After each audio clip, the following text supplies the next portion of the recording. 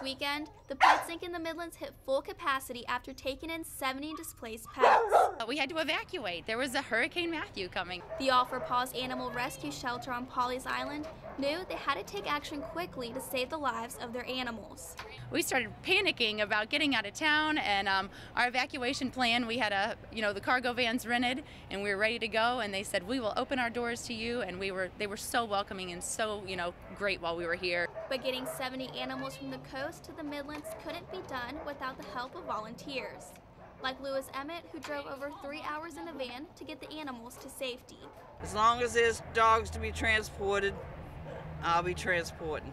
Pets Inc filled up every empty crate, making room for as many dogs as they could. And they decided to keep 14 of the displaced dogs here in the Midlands to allow All 4 Paws to make room for other animals.